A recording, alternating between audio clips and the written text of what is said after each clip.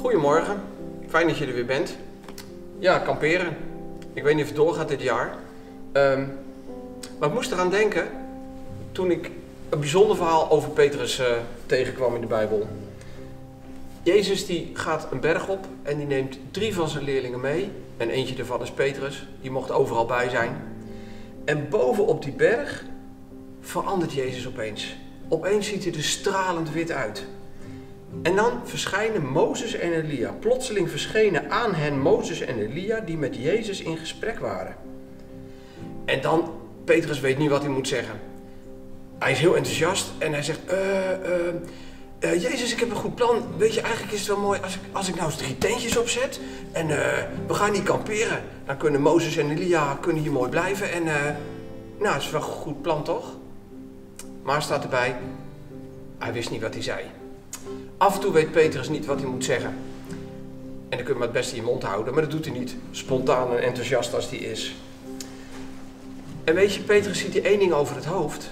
Want er staat bij, Mozes en Elia bereiden Jezus voor op alles wat er komen ging. Bijzonder moment. Daarboven op die berg vertelden Mozes en Elia in detail wat Jezus de komende periode zou overkomen. Het moet heel indrukwekkend geweest zijn voor Jezus. Dat hij van tevoren wist al het lijden wat eraan kwam. En op dat moment staat Petrus daar een beetje enthousiast te springen. Oh, tentje opzetten, hier kamperen. Wat moet Jezus zich alleen gevoeld hebben? Omdat hij flap uit die domme dingen riep op dat moment. Maar je leest helemaal niet dat hij Petrus terecht wijst dat hij op hem moppert. Het enige wat je leest is dat er op dat moment een stem uit de hemel klinkt. Dit is mijn geliefde zoon. En Petrus en zijn vrienden, die weten het weer. Deze man die gaat lijden, is door God geliefd. Ze snappen er nog niks van.